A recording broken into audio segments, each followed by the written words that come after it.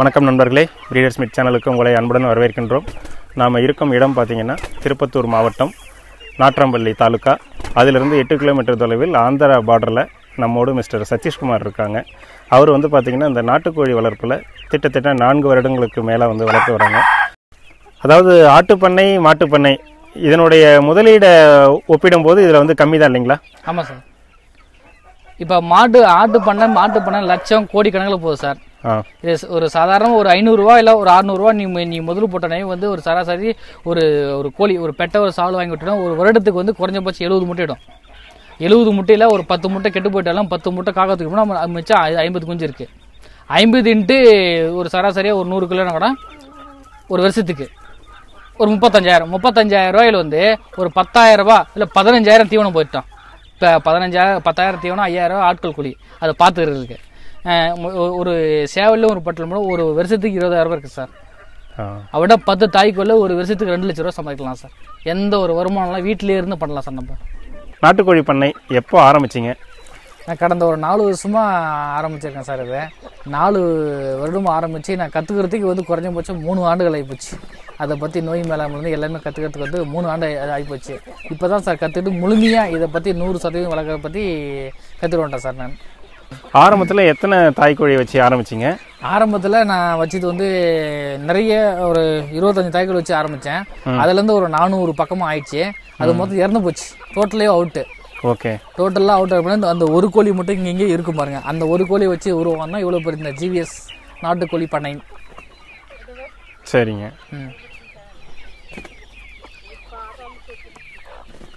இப்போ நம்ம இடம் பார்த்தீங்கன்னா எத்தனை தாய்க்கோழிகள் இருக்குது இப்போ இருக்குது சார் ஒரு எழுபது எண்பது தாய்கள் இருக்குது எண்பது தாய்க்கோழிகள்.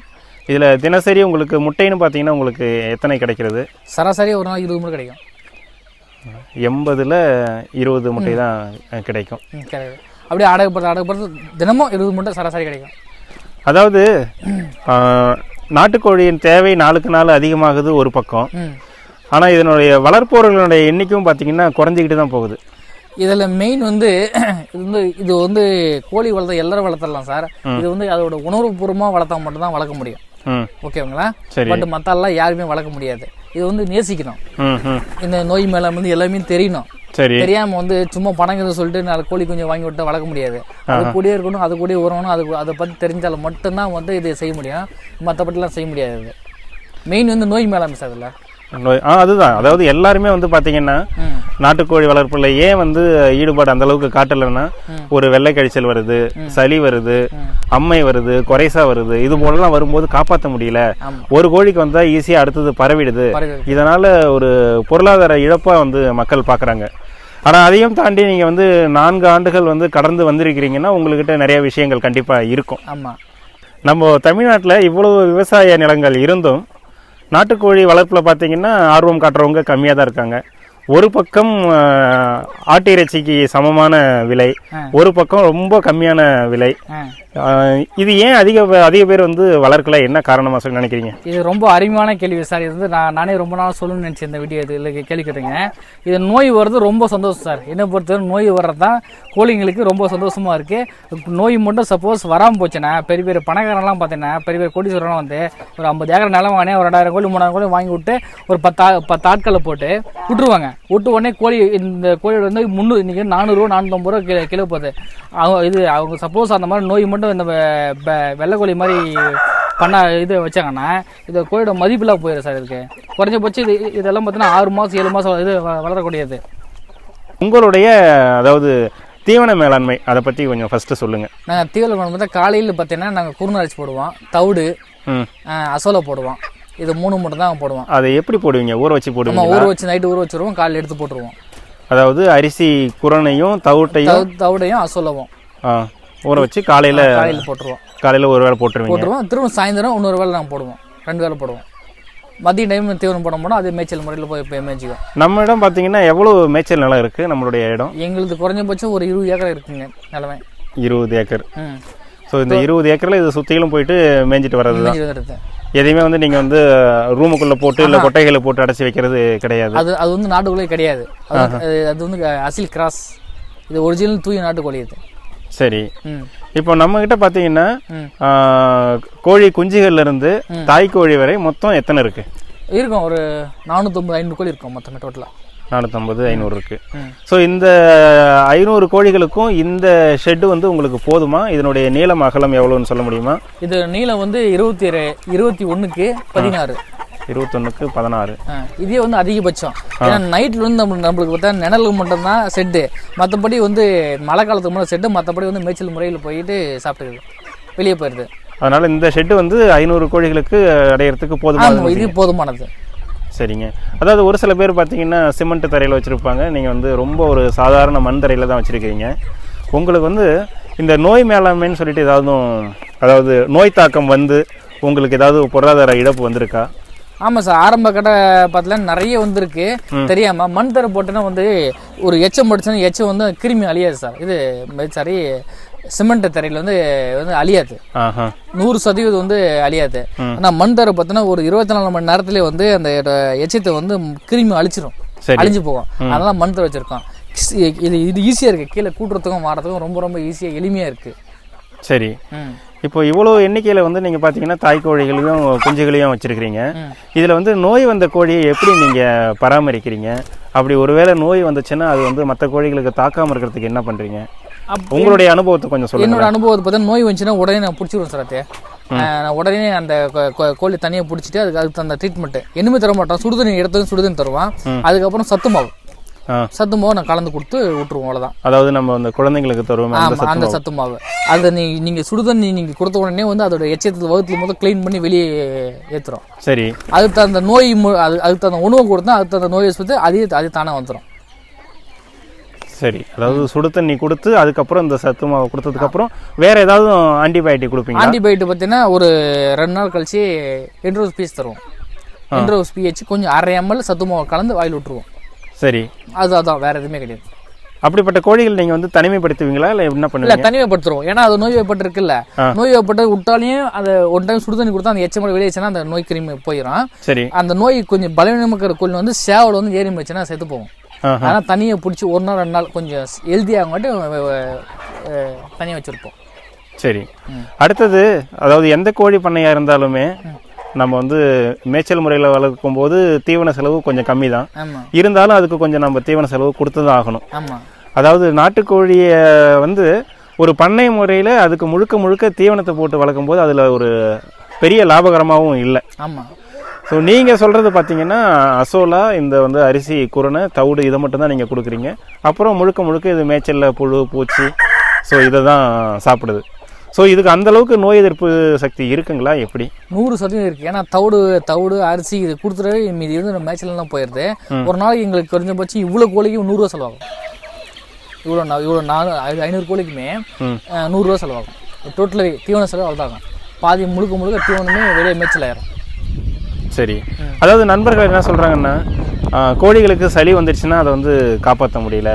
சளி வந்ததுக்கப்புறம் அது பார்த்தீங்கன்னா குறைசாவாக மாறுது. அதுக்கப்புறம் வெள்ளை கழிச்சலாக மாறுதுலாம் சொல்கிறாங்க அப்படிப்பட்ட கோழியை வந்து நம்மளால் காப்பாற்ற முடியுமா? கண்டிப்பாக முடியும். இப்போ நீங்கள் இப்பயே நீங்கள் பார்த்துருப்பீங்க அந்த சளி வந்துச்சுன்னா சளி நம்ம அந்த சிம்டம் தெரியும் சார் சார் சளி த- அந்த கோழி வந்து இந்த குஞ்சு தும்ப ஆரம்பிக்கும். அந்த தும்ப ஆரம்பிச்சுன்னா பிடிச்சி டைஸ் இன்ஜெக்ஷன் போட்டு விட்ருங்க ம். டைஸ் இன்ஜெக்ஷன் போட்டிருங்க. அப்படியே டைஸ் இன்ஜெக்ஷனுக்கும் டைஸ் இன்ஜெக்ஷன் கூட வேற ஹையஸ்ட் மருந்து கிடையாது. சரி. அப்படியே சளி வர ஆரம்பிச்சுன்னா என்ட்ரோபஸ் பிஹெச் வந்து தண்ணியில் கலந்து கொடுத்துருங்க. ஒரு லிட்டர் தண்ணி மூணு எம்எல் சொல்லி கலந்து டெய்லி கொடுத்துருவாங்க. தொடர்ச்சியா ஒரு அஞ்சு நாள் கொடுத்துருவாங்க. சரியாயிரும். ஒருவேளை வந்து அறிகுறியே வந்து சளி தான் ஒருவேளை வெள்ளை கழிச்சலும் வந்துடுச்சு. அப்படி வெள்ளை கழிச்சல் வந்த கோழியை உங்களால் காப்பாற்ற முடிஞ்சிருக்கா? ஆ காப்பாற்றிருக்கேன் வெள்ளை கழிச்சல் வந்துச்சு வெள்ளை கழிச்சல் வந்து காப்பாத்தினாலும் அது உயிர் வாழும் ஆனா முட்டையிட்டா கருக்கூடு தன்மை கிடையாது. அது சும்மா ஒரு கறிக்கு மட்டும் பயன்படும். வெள்ளை கழிச்சல் வந்தா அது வந்து அது இன்னும் யூஸ் உயிர் உயிர் வாழ ஒரு கருவி மட்டும் தான் அது.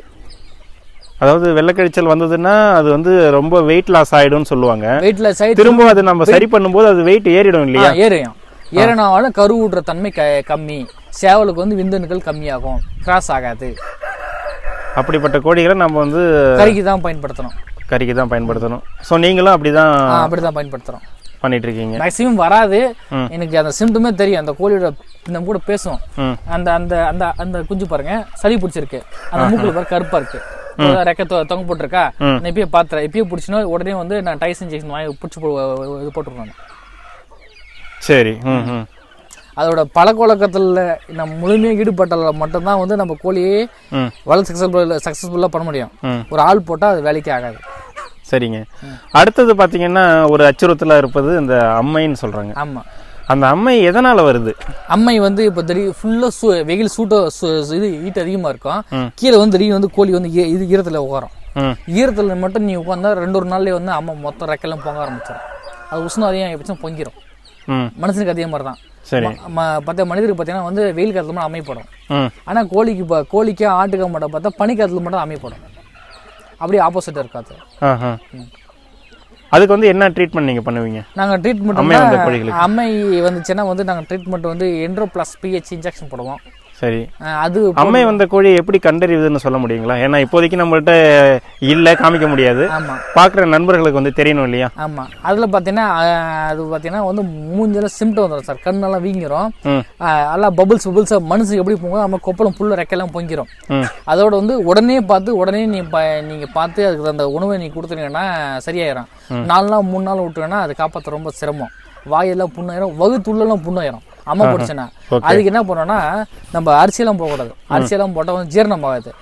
கஞ்சி இந்த மாதிரி கொடுத்தோன்னா உடனே ஜீரணம் ஆகிற மாதிரி. அந்த புண்ணு வகுத்துள்ள ஆறணும். அந்த மாதிரி தேவை தான் தரணும் அதுகளுக்கு. அது போல் கொடுத்தா போதுமானது? போதுமானது. சரிங்க. இந்த வெள்ளை கரிச்சல் வர்றதுக்கு காரணம் வந்து ஒன்லி சளிதானா? ஆ சளி தான் சளியை மட்டும் கோழி கண்ட்ரோல் கண்ட்ரோல் பண்ணிங்கன்னா. நூறு சதவீதம் காப்பாற்றலாம் ரெண்டாவது வந்து தண்ணி வந்து சுடு தண்ணி வைக்க- இது தரணும் குஞ்சுங்களுக்கு வரும். நீ சுடு தண்ணி கூட சளி வராது. நம்ம அடுத்தது அதாவது இந்த பிறந்த குஞ்சிலிருந்து டே ஒன்லேருந்து முப்பது நாள் வரை முப்பதுலேருந்து அறுபது நாள் வரையிலும் நம்ம தனியாக பார்ப்போம். இந்த தாய் கோழிகளில் என்னென்ன சவால்கள் இருக்குது பராமரிக்கிறதுல? ஸோ அதை பற்றி கொஞ்சம் தெளிவாக பார்த்துட்டோம்னு வச்சுக்கோங்களேன். இன்னும் கொஞ்சம் ஈஸியாக இருக்கும். இப்போ நம்மளுக்கிட்ட பார்த்தீங்கன்னா அதாவது தூய நாட்டுக்கோழின்னு சொல்கிறீங்க சிறுவிடையும் இருக்குது பெருவிடை இருக்குது இடைவெட்டு இருக்குது. உங்களுக்கு வந்து அந்த அளவுக்கு விற்பனை வாய்ப்பு இருக்கா? ஏன்னா ஒரு சில பேர் பார்த்தீங்கன்னா தூய இனமான சிறுவிடையாக இருக்கணும் இல்லை பெருவிடையாக இருக்கணும் இதெல்லாம் வந்து கலப்பு கோழின்னு சொல்கிறாங்களே இதை பற்றி உங்களுடைய கருத்து என்ன? சார் நாட்டுக்கோழியை பொறுத்தவரை இடவெட்டு கழுத்தறுத்தாங்கோழி சிறுவடை பெருவடை எல்லாமே ஒரே ஒரே இனம் தான் சார். அறுத்து போட்டால் முந்நூற்றம்பது ரூபா கோழி. கிலோ. ம். முந்நூற்றம்பது ரூபா சாதாரணமாக போகுது முந்நூற்றம்பது நானூறுரூவா இது விரியும் போகுது. நம்ம அதான் அது நம்ம அதனால வந்து நம்ம வந்து மக்களை வந்து ஏமாற்றக்கூடாது என்னுடைய எண்ணம் சார் இது இது வந்து இதான் சிறுவடை. இது வந்து நானூற்றம்பது ரூபாய் கிலோ. இது பெருவடை. கிருத கிருத ஜாதி கழுத்தறதம் கோழி பெருவடை சிறுவடை மூணு தான் இருக்குது இது மூணுமே தூய நாட்டுக்கோழி தான். நம்ம ஒன்றும் அளவு கோசம் வளர்க்கறதில்ல. சுத்தமான ஒரு நாட்டுக்கோழி இறைச்சி நல்லா இருக்கணும். சத்தான ஒரு பொருள் நம்ம மக்கள் கூட நம்ம சேர்த்த போகிறோம் சரி. இப்போ வந்து நீங்கள் இந்த அதாவது தாய் கோழிகளுக்கு நீங்கள் கம்பெனி தீவனம்லாம் கொடுக்கறது இல்லைங்களா? எந்த தீவனம் தரதில்ல. ம். எந்த கம்பெனி ஃபீட் எதுவுமே தரல. ஒன்றே தரத இது இது மட்டும் தான் அரிசி மட்டும் தான் அரிசி தவிடு மசோலா. அதை மட்டும் தரோம். இதுக்கப்புறம் இந்த கோழிகளுக்கு இந்த பசந்தீவனம்னு சொல்கிறாங்களே அது போல் நீங்கள் ஏதாவது தனியாக கோவன் ஃபுல்லாக நட்டு இருக்கோம். அது அதே அதே சாப்பிட்டுக்கோம் பசந்தி தீவனம். சரிங்க. அதாவது போட்டுக்கலாம். ஃபோர் வந்து பசந்தீவனம் வச்சுருக்கீங்க? வச்சிருக்கோம். அது பண்ணுவேன் அப்பப்போ நாங்கள் பார்த்தீங்கன்னா அந்த மார்க்கெட்லேருந்து கோசல் எடுத்து போட்டுருவோம் வேஸ்ட் கிடைக்கிறது வாழை இலை அறுத்து போட்டுருவோம். சரி. அடுத்தது பார்த்தீங்கன்னா என்னதான் நம்ம தூய இனங்களை வளர்த்தா வளர்த்தாலும் இந்த கோழிகள் வந்து ஒன்னோட ஒன்று கொத்திக்குது. ஆமாம் அது வந்து பார்த்தீங்கன்னா இந்த அசில் கிராஸில் ரொம்பவே அதிகம். நம்ம அசில் கிராஸை பற்றி பேச தேவையில்ல. நம்ம நாட்டு இனங்களான கோழிகளே வந்து ஒன்னோட ஒன்று கொத்திக்குது. கொத்திக்கிறதுக்கு காரணம் என்னன்னு சொல்லுங்கள் அது கொத்திக்கிறதுக்கு காரணம் என்ன பார்த்தீங்கன்னா இந்த எதனா சின்னதாக இது ஒரு கோழி புண்ணு லைட்டாக எதனா இருக்கும் எனக்கு அடிபட்டிருக்கும் அதை பார்த்து உடனே இது அப்படியே இது கொத்த ஆரம்பிச்சிடும் ரெட்டு தான் எப்பவுமே. இந்த தண்ணி வைக்கிற கிணறு ரெட்டு தான் அதை பார்த்து அப்படியே இது கொத்த ஆரம்பிக்கும். அதுக்கு வந்து இந்த பசுந்தி ஒன்று போட்டால் சரியாக போயிடும் வாழை இலை வாழை இலை எதனா ஒன்று போட்டோம்னு வச்சுக்க பச்சை பத்தாலும் கொத்த ஆரம்பிக்கும் சார் அது. ஓஹோ. இந்த பச்சை மட்டும் பத்த பத்துச்சுன்னா நீ எவ்வளோதான் தீ தீவனம் கொடுத்தா கூட கண்டிப்பாக கொத்தும். அது கொஞ்சம் அந்த குறிப்பிட்ட வயசு ஆக அடிக்கும் அதே நீ தாய் கோழி கூட ஒட்டணும் வச்சுக்க இந்த இந்த இது டுவெண்ட்டி ஃபோர் ஹவர்ஸ் வந்து கொத்தி கொத்தி கொத்தி கொடுத்துனே இருக்கும் தீவனம். அதெல்லாம் அது அது அதுக்கு வந்து அந்த அதோட ஞாபகம் வராது. சரி சரி. அதாவது நீங்களே பார்த்தீங்கன்னா கிட்டத்தட்ட ஐநூறுக்கு மேலே கோழி இனங்களை அஹ், கோழிகளை வளர்க்குறீங்க. இப்படி உங்களை மாதிரி நிறைய பேர் வளர்க்கும் போது ஏன் இந்த கோழிகளுடைய இறைச்சியினுடைய விலை வந்து இவ்வளோ ஏற்றம்? அதாவது ஆட்டு இறைச்சிக்கு சமமாக இருக்கே நாட்டுக்கோழி? என்ன காரணம்? இதுக்கு பார்த்தீங்கன்னா வந்து யாருமே எல்லாம் பண்றாங்க சார். ஆனா பண்ணிட்டு ஒரே நாலே மாசம் மூட்டு போயிடுறாங்களே. நான் ஒரு ஒரு நாலு அஞ்சு மாசம் வைக்கிறது இல்ல நீங்க எடுத்த உடனே லாபத்தை பார்க்க முடியாது. பொறுமையா இருக்கணும். குறைஞ்சு போச்சு நான் வந்து நாலு வருஷம் வெயிட் பண்ணா இது நான் வந்து ரொம்ப நேசிக்கிறதுனால வந்து நாலு வருஷம் வெயிட் பண்ணேன் அந்த மாதிரி வெயிட் பண்ணா மட்டும்தான் அதோட நுணுக்கங்களை கத்துக்கணும். இந்த கோழி இது பிரச்சனை இது பிரச்சனை இது பிரச்சனை இது- இதெல்லாம் கத்துனா மட்டும்தான் நம்ம கோழி அடுத்தடுத்த படிக்கு போக முடியும். நம்ம கோழி வாங்கினோமா அரிசி போட்டோமா வளைஞ்சானே கண்டிப்பா அது வளரவே வராது. வளரவே வராது. அது கூடயே பழகணும் அது கூட செய்யணும் அது கூட நேசிக்கணும். அது இருந்தால் மட்டும்தான் நம்ம கோழி பில்டில் சக்ஸஸ்ஃபுல்லாக பண்ண பண்ண முடியும். அதாவது எந்த கோழிக்கு நோய் வாய்ப்பட்டிருக்கு ஆ, அப்படிங்கிறத முதல்ல கண்டறியறதுக்காவது நமக்கு வந்து அனுபவம் வேணும். அனுபவம் வேணும். ஆமாம் அப்படி இருந்தா மட்டுமே இதுல வந்து சாதிக்க முடியும்னு சொல்றீங்க. எல்லாம் சாதிக்க முடியாது. உங்களுக்கு விற்பனை வாய்ப்புன்னு பார்த்தீங்கன்னா இது எப்படி இருக்கு? எப்படி டெய்லியும் சேல் பண்றீங்களா? இல்ல எப்படி வாரான இல்லை கொடுக்குறீங்களா? சார் இங்கேயே வந்து டெய்லி வந்து வாங்கிட்டு போயிடுவோம் சார். ஒரு கிலோ குறைஞ்சபட்சம் முந்நூற்றம்பது ரூபா தரேன் சார் ஒரு கோழி எழுநூறுவாய்க்கு எப்பயுமே தரதில்ல சரி. அந்த முப்பது நாள் வரையும் கோழி அஹ், க- குஞ்சுகளை காப்பாற்றுறதுக்கு ரொம்ப சிரமம். முப்பது நாளைக்கு மேலே ஆட்டோமேட்டிக்காக நோயெல்லாம் இது கொஞ்சம் நல்லாயிரும் சரணம் பழிஞ்சிடும் அதனால் வந்து நான் குஞ்சு விற்பனை பண்ணுறதில்ல பெரிய கோழி மட்டும் தான் முந்நூற்றம்பது ரூபா கிலோ. ரெண்டு கிலோ வந்தால் தருவோம் அது கம்மியாக தர மாட்டோம் ரெண்டு கிலோ வருதுன்னா எத்தனை நாட்கள் அது ஆயிருக்கும்? குறைஞ்சபட்சம் ஆறு மாதம் ஆயிரும். ஆறு மாதத்துல உங்களுக்கு இரண்டு கிலோ வந்திருக்கு. ஒரு கோழிக்கு வந்து பாத்தீங்கன்னா நீங்க தீவன செலவு ஒரு நாளைக்கு வந்து நாள் ஒரு நாளைக்கு ஒரு ரூபா குறைஞ்சபட்சம் செலவாகும். அவ்வளவுதான். ஒரு நாளைக்கு ஒரு ரூபா இல்லை ஐம்பது பைசா செலவாகும். அவ்வளவுதான். எஸ்ட்டு ஒரு எழுபத்தஞ்சு பைசா செலவாகும். ஒரு மாதம் முப்பது ரூபான்னா ஆறு மாதத்துக்கு ஐமூ பதினஞ்சு ஆறு மூணு பதினெட்டு நூற்றி எண்பது ரூபா செலவாகும். இரநூறுபான்னு வச்சுக்கிட்டா கூடமே ஐநூறுரூபா ஒரு கோழிக்கு இருக்குதுங்க. கம்பல்சரி ஐநூறுரூவா இருக்கு. சரிங்க. உங்க இடத்துல வந்து இறப்பு விகிதம்னு சொல்லிட்டு ஏதாவது அதிகமா வந்திருக்கா? ஆமா சார். ஆரம்பத்துல பார்த்தீங்கன்னா இது பெரிய பெரிய ஒரு விஷயம் சார் இது. இறப்பு விதம் எக்கச்சக்கமான ஆகிப்போச்சு சார் இது. இறப்பு விதம்னா சொல்லவே முடியாது. அம்மா போச்சு அம்மா போட்டுறோம் விலை வச்சு விலை வந்துடும் அப்புறமா இது வரும். இந்த வாய் புண்ணு வந்துடும் கோழிங்களுக்கு. அந்த நோய் நோய் வந்து வந்துட்டே இருக்கும். சரி. இது என்னோட நண்பர் சீமராஜா அவர்கள் அறிவுரைப்பட்டு தான் இந்த பண்ணையம் நடக்குது. அப்படிங்களா. அவரெல்லாம் இந்த கோழி பண்ணையை வந்து என்னோட வந்து சக்ஸஸ்ஃபுல்லாக கொண்டு வந்திருக்க முடியாது.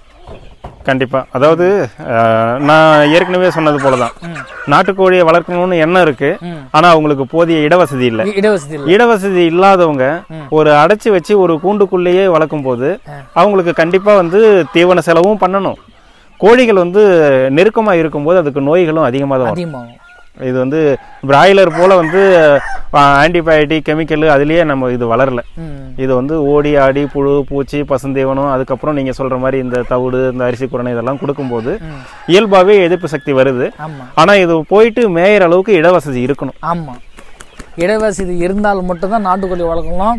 இல்லை வளர்க்கக்கூடாது. சும்மா நம்ம வளர்த்துட்டு வந்து அவங்களோட நேரம் வேஸ்ட் பண்ணின்னு அவங்களும் மக்களிடையே நல்ல இறைச்சி தராம அவங்களுக்கும் லாஸ் மக்களுக்கும் லாஸ் அது வேஸ்ட்டு நாட்டுக்கோழி வளர்க்கணும்னா இயற்கை முறையில் எடை இருந்தால் மட்டும்தான் வளர்க்க முடியும் இல்லை வளர்க்கவே முடியாது. சரிங்க. ம். நீங்க இப்போ வந்து இறைச்சிக்காக நீங்க விற்கிறேன்னு சொன்னீங்க உங்களுடைய கோழிகளை. ம். நீங்க அடுத்தது வந்து இந்த முட்டைகளை வந்து நீங்க இன்குபேட்டர் வச்சு தான் நீங்க பொறிக்கிறீங்க. அதுக்கு அடுத்து நம்ம இந்த ஒரு நாள் குஞ்சுலாம் நம்ம அடுத்தது நம்ம பார்ப்போம். நீங்க வந்து ஒரு நாள் குஞ்சுக்கெல்லாம் விற்கலாமே அப்படி விற்கிறீங்களா இல்லை கோழிகளை மட்டும் தான் விற்கிறீங்களா அதை பத்தி கொஞ்சம் சொல்லுங்களேன். சார் இந்த ஒரு நாள் குஞ்சு வந்து வித்துருவோம் சார். ஒரு நாள் குஞ்சு எழுபத்தஞ்சு ரூபா எண்பது வரையும் போகுது. ஒன்றும் பிரச்சனை இல்லை. எண்பது ரூபா வரையும் அது போகுது. அது நம்ம குறை கடந்த ஒரு கோழி வளர்க்குறதுக்கு ஆறு மாதம் ஆகுது. ஆறு மாதத்துலேருந்து முட்டை இடத்துக்கு ஒரு மாதம் ஆகுது. ஏழு மாதம் ஆகுது. ஏழு மாதம் வந்து அதை உருவாக்கி க கழுகு காகம் இதெல்லாம் பாதுகாக்க உருவாக்கி நம்ம தரோம். அவங்க எடுத்து நம்ம சாகடிச்சிடுறாங்க. அவங்களுக்கு தெரியாது. இந்த யூடியூப் சேனல்லாம் பார்த்துட்டு வந்துடுறாங்க. வந்துட்டு பார்த்துட்டு இது வந்துடுறாங்கன்னா யூடியூப் சேனல் பார்த்துட்டு எங்களையும் சேர்த்து அசிங்கப்படுத்துறீங்களே? பரவாயில்ல. அப்படி எல்லாம் ஒன்றும் இல்லை அது வந்துடுறாங்க. அப்படி வந்துட்ட உடனே வந்து உடனே வந்து நூறு தாய் கோழியா மாதம் ஐம்பதாயிரம் ரூபான்னு சொல்லி வந்துருவாங்க. எதுவுமே எதுவுமே தெரியாம அது உள்ள என்ட்ரி ஆயிருவாங்க இது என்னப்பா இந்த கோழி? தீவனம் போட்டால் வந்துடும் தீவனம் போட்டால் வ வளர்ந்துடும் வந்துருவாங்க ஆனால் அது வளராது. அது அந்த அதுக்கு அதுக்கு என்னென்ன செட்டப் பண்ணணும் அது எப்படி எப்படி பூடிங் போடணும் அதெல்லாம் தெரிஞ்சுட்டு வந்தால் மட்டும் தான் வரும். அவங்க எடுத்தும் அவங்க எடுத்தும் அது மொத்தம் இறந்து போகுது. அது வேஸ்ட் அது. ஒன்றும் நம்மளுக்கும் யூஸ் கிடையாது அவங்களுக்கும் யூஸ் கிடையாது.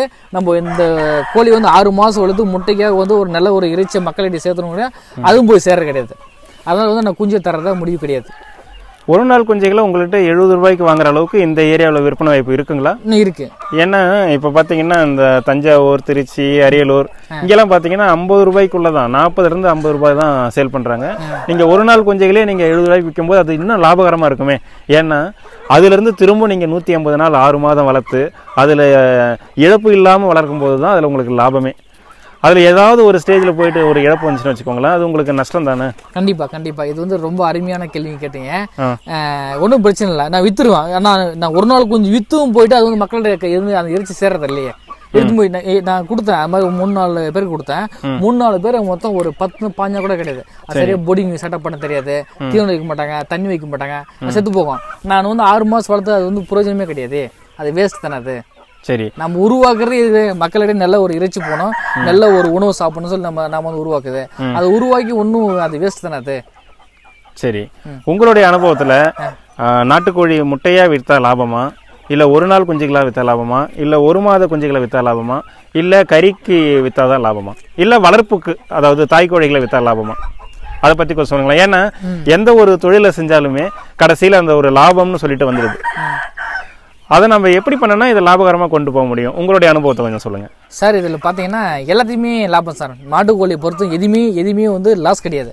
முட்டை வைத்த இருபது ரூபாய் ஒரு நாள் குஞ்சு வைத்து எழுபது அஹ், ஒரு மாசம் குஞ்சு வைத்த நூறு ரூபாய் அறுபது நாள் குஞ்சு வைத்த இரநூறு ரூபாய் அதே கோழி வித்தனா முந்நூற்றம்பது ரூபா சே இது சேவல். பெட்ட கோழி நானூறு நானூற்றம்பது ரூபாய் போகுது. அந்த அளவுக்கு விற்பனை வாய்ப்பு அந்த வேலைக்கு விற்பனை வாங்கி எங்களோட டிமாண்டே தர முடியாது. இதில் புக்கிங்ல இருக்கு ஏற்கனவே. ம் ம். புக்கிங்ல இருக்கு. டெய்லி வராங்க. டெய்லியும் ஒரு- நாளைக்கு குறைஞ்சபட்சம் ரெண்டு கோழி கிட்ட சேல்ஸ் ஆகுது. ரெண்டு கோழி ஒரு கோழி சேல்ஸ் ஆகுது. ஒரு ஆயிரம் ரூபா டெய்லியும் சரி. ஒரு இரநூறுவா திரும்ப ஒரு எட்நூறுவா நிற்கிற மாதிரி இப்போது நம்ம செ- இது செட்டப் பண்ணிக்கிறோம். சரி. உங்களுடைய அனுபவத்தை வச்சு பார்க்கும்போது யார் யார் இந்த நாட்டுக்கோழிகளை வந்து வளர்க்கலாம்? அதாவது இது கோழியை வந்து பண்ணைன்னே சொல்லக்கூடாது. இந்த நாட்டுக்கோழி வளர்ப்புல யார் யார் ஈடுபடலாம்? இது வந்து ரொம்ப என்ன அடிப்படை தேவைகள்? இது நான் சொல்கிறேன் இது இது- வந்து ரொம்ப ஒரு அருமையான கொஸ்டின் கிடைக்கும் சாருங்க நீ வளர்க்கலாம் நானும் வளர்க்கலாம் எல்லாரும் வளர்க்கலாம் அதோட நேசம் அதோட பாசம் வச்சிருந்தா மட்டும் சின்ன வயசுல இருந்து பாருங்க கோழி குஞ்சா ஒரு புறாவா ஒரு முயலா அதோட அன்பு செலுத்தினா மட்டும்தான் அது நம்மளால வந்து அன்பு செலுத்தும். நம்ம ஒரு தொழிலை நம்ம எவ்வளவு நம்புறோமோ அது வந்து அது- வந்து நம்மள நம்பும். சரிங்களா? சும்மா எல்லாம் வந்து எங்கிட்ட பணம் இருக்குன்னு சொல்லிட்டு நான் வந்து பத்து ஆட்கள் வச்சிடுறேன். வேலைக்கு வச்சிடுறேன். வேலைக்கு வச்சு வந்து போடுறேன் கண்டிப்பாக வளர்க்க முடியாது. அதை நேசித்தால் மட்டும்தான் ஆடு மாடு கோழி அது மேலே பாசம் வச்சா மட்டும்தான் நம்ம சக்ஸஸ்ஃபுல்லாக இது வர முடியும். சரி. இதுக்கு அடுத்தது வந்து இடவசதி. இப்போ ஒருத்தருக்கு வந்து ஒரு ஒரு ஏக்கர் இருக்குன்னு வச்சுக்கோங்களேன். அதிகபட்சமா எத்தனை அதாவது தாய்க்கோழிகள் குஞ்சுகள் எல்லாமே சேர்த்து நம்ம வளர்க்க முடியும்? கிட்டத்தட்ட ஒரு ஆயிரம் கோழி வளர்க்கலாம். ஆயிரம் கோழி வளர்க்கலாம். வளர்க்கலாம். நம்ம வந்து கோழி வந்து நம்ம- வந்து இது அடி அடிச்சு வைக்க வைக்க போறது இல்லையே. விட்டா வந்து அது பாட்டுக்கு இது மெய் போகுது. அடிச்சு வைக்க போறதுல விட்டா அது பாட்டுக்கு வந்து மெய் போகுது. நம்ம ஒன்றும் பிரச்சனை இல்லை தேவைப்படுறோமோ தீவனம் தண்ணி வைக்கிறோம் சாப்பிடுது திரும்ப போய் போய் போய் மெ- மேயுது. சாயந்தரம் மணி அஞ்சு ஆறு ஆச்சுன்னா வந்து செட்டில் அடிச்சிக்குது. அவ்வளோதான் சரி. மற்றபடி இது கொத்திக்காது. ஒரு ஏக்கர்ன்றது எவ்வளோ பெரிய இடம்? ஆமா. ஆ. ஆயிரம் கோழிகளை வளர்க்கலாம் கண்டிப்பா. குறைஞ்சது ஒரு இரநூறு தாய்க்கோழிகளை வச்சுட்டு மீதி வந்து ஒரு எழுநூறு எட்நூறு குஞ்சுகளாவும் அப்படியே ரொட்டேஷன் இருக்கிற மாதிரி வளர்க்கலாம். அடுத்தது நம்ம ஏற்கனவே தொலைபேசியில் பேசும்போது நீங்கள் சொன்னீங்க சளி பிடிச்சிருந்ததுன்னா வந்து அதனுடைய இறகையை எடுத்து பண்ணலாம். பண்ணலாம்னு சொன்னீங்க. அதை பற்றி கொஞ்சம் சொல்லுங்களேன். இதோ ஒரே நிமிஷம் பண்ணுறேன் இருங்க. இந்த கோழிக்கு சளி பிடிச்சிருக்குங்களா? ஆமாம் பாருங்க. நல்ல நல்லாவே தெரியும் பாருங்க. நல்ல பாரு. சளி சளி சளி மூக்கு இது நடந்து போகும்போதும் ஒரு தனிமையாக தான் இருந்துச்சு இங்க பாருங்க தெரியுது சளி படுது நல்லாவே தெரியும் பாருங்க ஈரப்பதம் நல்லாவே நல்லாவே தெரியும் உங்களுக்கு. தெரியும்? இந்த மாதிரி கோழி குஞ்சு சளி பிடிச்சுன்னு வச்சுக்க சளி பிடிச்சி குஞ்சு சளி அதிகமா இருக்கு குஞ்சுங்களுக்கு இதோட ரெக்கையை நீங்க இப்படி பிடிங்கங்க. சரி. இதை பிடிச்சிட்டு. இந்த வாய் நல்லா திறந்துக்கோங்க. உள்ள விட்டு மொல்ல ம். அதை ஃபுல்லா ஆழ ஆழ வரை உள்ள வரை விடுங்க இன்னும் என்னுமே ஆகாது. இங்க பாருங்க ஃபுல்லா தொண்டையில புண்ணு அதெல்லாம் எதுவும் ஆகாதுங்களா? என்னும் ஆகாது. அதே சளி இல்லாத கு- குஞ்சுங்களுக்கு லைட்டா அந்த அறுத்துற மாதிரி தெரியும் இந்த சளிக்கிறதுனால வந்து உள்ள வந்து என்ட்ரி அந்த உள்ள அந்த ஈரப்பதம் பார்த்தியா அதனால ஒண்ணுமே ஆகாது. நீங்கள் சொல்கிறது மூக்கில் விடலை வாயில தான் விடுறீங்க? ஆமா. ஆஹா. நான் இப்போ நான் எடுத்து வந்து காமிக்க போறேன் பாருங்க நீங்க. சளி தெரிஞ்சு ஆ ஈரம் தெரியுது நல்லாவே தெரியுது. எச்சி எச்சம் பார்த்தேன் உள்ள அந்த கோலை கோலை அப்படியே தெரியும். இது இப்போ சாயந்தரம் இது ரெண்டு பேர் பண்ணனாவே இது இந்த குஞ்சுக்கு மருந்து தேவையில்ல. இங்க பாருங்க அதே போயிடுறது ஆஹா. அதே போயிடுறது அதையும் தாண்டி அதிகமா கொஞ்சம்னா டைசன் சளியினுடைய தாக்கம் இருக்கும்போது நீங்க சொல்ற மாதிரி ஆங்கில மருந்து. பயன்படுத்தி ஆகணும். ஆங்கில மருந்து பயன்படுத்த ஆகணும் வேறு வழியே கிடையாது. சரிங்க. நீங்க தடுப்பு மருந்துன்னு பாத்தீங்கன்னா கோழிகளுக்கு வந்து என்னதான் கொடுக்குறீங்க? நாங்கள் தடுப்பு எ- இது இது எதுவுமே தரது சார் நாங்கள் லசோட்டா அதெல்லாம் சொல்லுவாங்க. அதெல்லாம் போடுறதில்ல. அதெல்லாம் சும்மா அதெல்லாம் வந்து போட்டெல்லாம் கேட்கறது நான் வந்து ஆரம்ப கட்டத்தில் போட்டு பார்த்தேன். போட்டு பார்த்தாலும் நோய் வருது. லசோட்டா போட்டும் நோய் எல்லாம் சோட்டா எஃப் ஒன் எஃப்டி எல்லாம் போட்டால் போடுறேன். ஆனால் நாங்கள் மூன்று மாதத்துக்கு ஒரு டைம் வந்து ஆர்டிக்கு இன்ஜெக்ஷன் மட்டும் போடுவோம். நாங்கள் கோழிக்குன்னு பார்த்தோன்னா ஆர்டிபிகே மட்டும் தான் போகிறோம் மற்ற எந்த ஒரு மருந்தும் போடுறதில்ல. அதாவது நம்மளுடைய நாட்டு இனத்தோடைய ஆடோ மாடோ கோழியோ அதுக்கு இயற்கையாகவே வந்து நோய் எதிர்ப்பு சக்தி அதிகமாக இருக்கு. ஆமாம் இப்போ பார்த்தீங்கன்னா நம்ம காலையில் வரும்போது இந்த கொட்டகையை நீங்கள் எதுவும் அடைக்கல. அது வந்து பார்த்தீங்கன்னா இந்த மாட்டு சாணத்தை தான் வந்து பறித்து அதை சாப்பிட்டுட்டு இருந்தது. புழு பூச்சி இதெல்லாமே சாப்பிட்டுட்டு இருந்தது. அப்படி இருக்கும்போது அது இயல்பாகவே வந்து நோய் எதிர்ப்பு சக்தி இருக்கு. அப்படி இருந்தும் நீங்கள் இந்த ஆர்டிவிக்கு கொடுக்கறதுக்கு என்ன காரணம்? சார் இப்போ ஆறு மாதம் பனிக்காலம் ஆறு மாதம் வெயில் காலம். இந்த பனிக்காலத்து எப்படி இருந்தால் மனுஷனுக்கு பார்த்தீங்கன்னா சளி பிடிக்கும். அதே மாதிரி கோழி ஆட்டுக்கு மாட்டுக்கெல்லாம். அப்போ அந்த காலத்துல சாப்பாடு பார்த்தீங்கன்னா வந்து இயற்கை முறைஞ்சு இப்போலாம் இந்த யூரியா காம்ப்ளெக்ஸ் போகிறதுனால நோயை சுற்றி மனுஷனுக்கு சரி கோழிக்கும் சரி. ரொம்ப கம்மியாயிடுச்சு. அதனால வந்து சளி பிடிக்குது. அதே இப்போ இப்போ வெயில் காலம் ஆச்சு கண்டிப்பாக ஆர்டிவிகே போட்டு தான் வேணும் நீங்கள் ஆர்டிவிகே நான் வந்து இயற்கை முறை முறையில் தான் நான் வளர்ப்பேன். அஹ் அப்படி தான் சொன்னீங்கன்னா சப்போஸ் வெள்ளை கழிச்சு வந்தாலும் காப்பாற்றலாம் அப்படி காப்பாற்றுறனாலையும் வந்து அந்த கோழி வந்து உயிரோடு மட்டும்தான் வாழும். அது வந்து யூஸ் இல்லாத பொருள். நீங்கள் ஏற்கனவே சொன்னீங்க. ஒரு முறை வெள்ளைக்கழிச்சல் வந்துருச்சுன்னா அது சேவலோ பெட்டையோ ஆ. நாம திரும்ப அதிலிருந்து முட்டை எடுத்து குஞ்சுகள் வராதுன்னு சொன்னீங்க. அதனால இந்த தடுப்பு மருந்து போடலாம் போடுறது. ஆர்டிவிகே போடாமவும் வளர்க்கலாம். அது செட்டப் பண்ணணும். உள்ள தண்ணி வந்து செட் பண்ணணும். வெயில் காலத்துல தண்ணி. அது ஈரம் கரெக்டாக மாதிரி மேலே தண்ணி செட் பண்ணி வச்சுக்க அதுக்கு ரொம்ப செலவாகும். குறைஞ்சபட்சம் ஆனால் ஒரு இருபதாயிரம் கட்டாகும் ஒரு ஐம்பது ரூபாயில் ஆர்டிவிகே போடுறது வந்து அது வந்து ரொம்ப ஹெவியான காஸ்ட் கிடையாது. ஐம்பது ரூபா தான். சரி. ஐநூறு டோஸ் மருந்து ஐம்பது ரூபானா அது வந்து எவ்வளோ பவர் நீங்கள் பார்த்துக்கோங்க. ஐம்பது ரூபான்றது அதே ஆயிரம் ஐநூறு ரெண்டாயிரம் ரூபானா பெரிய கொஞ்சம் காஸ்ட்லியாக மருந்து. ஒரு வெறும் ஐம்பது ரூபா மட்டும் தான் அது. அது கிடையாது. கோடை காலத்துல இந்த கோழிகளுடைய பராமரிப்பு கொஞ்சம் சொல்லுங்களேன். கோடை காலத்துல எங்கள் பராமரிப்பு எதுவுமே கிடையாது சார். ஆர்டிவிக்கை போடும் நார்மலாக தீவனம் மட்டும் தான் நாங்கள் தான் மொத்தம் மேய்ச்சல் முறை மு- முறையில் விட்டுறோமே. அதனால வந்து நாங்கள் எங்களுக்கு வந்து எந்த ஒரு பராமரிப்பும் கிடையாது. இந்த ஒரு தடுப்பு மருந்தை கொடுத்தே நீங்க வந்து இயற்கையான முறையில மேய்ச்சல் முறையில போகும்போது உங்களுக்கு எந்த பிரச்சனையும் வரல. எந்த பிரச்சனையும் வரதில்ல. அடிக்கடி நீங்க சொல்றத பார்த்தா அந்த சளி மட்டும் வரும். ஆமாம் அதை வந்து ஆரம்பத்திலேயே கண்ட்ரோல் பண்ணிட்டா அடுத்த லெவலுக்கு போகலாம். உங்கள் இடத்துல வந்து குறைசாங்கிற நோய் வந்திருக்குங்களா இது வரலையும் கண்டிப்பா. நிறைய வந்திருக்கு. ஆரம்பத்துலலாம் ஒன் டைம் வந்துச்சுன்னா நான் வந்து மண் தரம் போடாம மேலே செட்டு வச்சிருக்கேன். மண் தரம் மண் தரை போடாம வந்து கீழே கேர் போட்டிருந்தேன். அந்த கேர் வந்து கிருமியும் அழியாது. அந்த கிருமியும் டோட்டலாக வந்து அழி- அழியாது. இது இது இது எதுவுமே ஆகாது. அதனால வந்து அந்த அந்த கிருமியோட இருக்கும். அடுத்தடுத்து அந்த குஞ்சு எடுத்து திரும்ப அங்கே கூட அப்படியே அப்படியே பரவிட்டே இருந்துச்சு. அதுக்கப்புறம் தான் என்னோட நண்பர் சொன்னார் மதர்லேருந்து இந்த கிருமி வந்து போகாது நீங்கள் மண் தரப்புன்னு சொன்னார். போட்டதுனால வந்து எனக்கு எந்த ஒரு பிரச்சனை வரல. சரிங்க. அடுத்தது இந்த நாட்டுக்கோழி வளர்ப்புல ஆர்வம் காட்டாததுக்கு இன்னும் நிறைய பேர் என்ன சொல்றாங்கன்னா இந்த அசில் கிராஸ் இதை விட வந்து வெயிட் அதிகமா வருது. அதையும் மேய்ச்சல் முறையில வளர்க்கும் போது இந்த நாட்டுக்கோழிக்கும் அதுக்கும் வந்து வித்தியாசம் ஒன்றும் தெரியல. அதனால வளர்க்குறவங்க வந்து எல்லாருமே வந்து பண நோக்கத்துல தான் வளர்ப்பாங்க. ஸோ அதை பத்தி நீங்க என்ன சொல்ல வரீங்க? நீங்க அசில் காசை வாங்கிட்டு வந்து அடிச்சு வளர்த்தா வந்து மூணு மாசத்துல பலிஞ்சிருங்க தொண்ணூறு நாள் வந்து ஒன்றரை கிலோ சைஸ் வந்துடும் ம். கரெக்டா சரி. அதே நீ வெளியே விட்டு அதே இந்த நாட்டுக்கோழி என்ன வெயிட் அது மாதிரி தான் வரும். உள்ளன்னா ஓடி ஆடி ஆடாம அதோட சாப்பிட வேண்டியது எச்சம் போட வேண்டியது உள்ள மட்டும் இருக்கும். இந்த மேய்ச்சல் மாதிரி விட்டோன்னா அதே ஆறு மாசம் வரும். ஆனா ஆறு மாசம் வந்தா அந்த மூக்கு வந்து கொஞ்சம் லைட்டா இந்த மண்ணில் சாப்பிட்டா வந்து மூக்கு வளர்ந்துரும். இந்த நாட்டுக்கோழி மாதிரி வந்து கரெக்டா வராது. அப்போ ரேட்டு வாய்ப்பு வந்து ரொம்ப கம்மியாக தான் உங்களுக்கு. ஒரு சில இடத்துல இன்னமும் வந்து வாங்குறவங்களும் தெரியாம வாங்குறாங்க. விற்கிறவங்களும் தெரியாம வந்து ஏமாத்தி விற்கிறாங்க அது தவறான கருத்து அது. ஆனா இறைச்சியில வந்து வேறுபாடு இருக்கும் இல்லைங்களா? கண்டிப்பா. இந்த கோழி சார் இதை நீங்க இதுவரையும் யாருமே பார்த்துருக்க மாட்டீங்க. இந்த கோழி குறைஞ்சபட்சம் அறுபது முட்டிட்டு இருக்கு. என்ன என்னோட பண்ணையில. ஓகே. அறுபது முட்டை இருக்கு இன்னும் முட்டை போட்டு தான் இருக்கு. அறுபது மட்டும் நீங்க என்ன தொடர்ந்தா சொல்றீங்க? தொடர்ச்சி இன்னும் இன்னும் இன்னும் அப்படியே பண்ண கிடையாது. இன்னி கிட்ட அறுபத்தி ஒரு முட்டை. இந்த முட்டையை மட்டும் நான் தனியாக சேகரித்து வச்சிருக்கேன் நான். ஆ, அதிசயமா இருக்கே நீங்க சொல்றத பார்த்தா. ரொம்ப அதிசயமான கோழி தான் நம்பல. இப்போ தனியாக சேகரித்து வச்சிருக்கேன். அது மட்டும். அதோட ஜீன் வந்து இன்னொரு குஞ்சு கூட இங்கே இங்கே இங்கே இருக்குன்னு நினைக்கிறேன். அதை பார்த்து நான் சொல்கிறேன் நான். பரவாயில்லையே. அதாவது ஆ, கைராளி அடுத்தது நிக்கோபரி இது கூட தொடர்ச்சியா இவ்வளவு முட்டை எடுத்ததில்ல நீங்க வந்து நானும் எ- எங்கேயும் கேள்விப்பட்டதை யாரும் சொன்னது கிடையாது. இது மட்டும் அந்த அந்த முட்டையை மட்டும் நான் தனியாக சேகரித்து வச்சிருக்கேன். அது வந்து இடவட்ட கோழி அது. சரிங்க. ம்.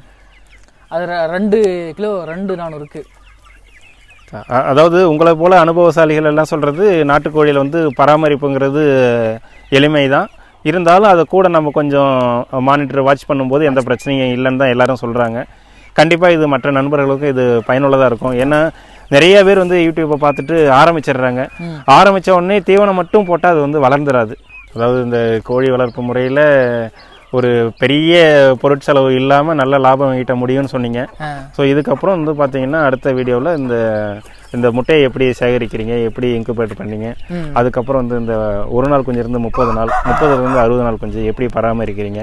ஸோ அதை பற்றி அடுத்த வீடியோவில் பார்ப்போங்க. ரொம்ப நன்றி. நன்றி வணக்கம்.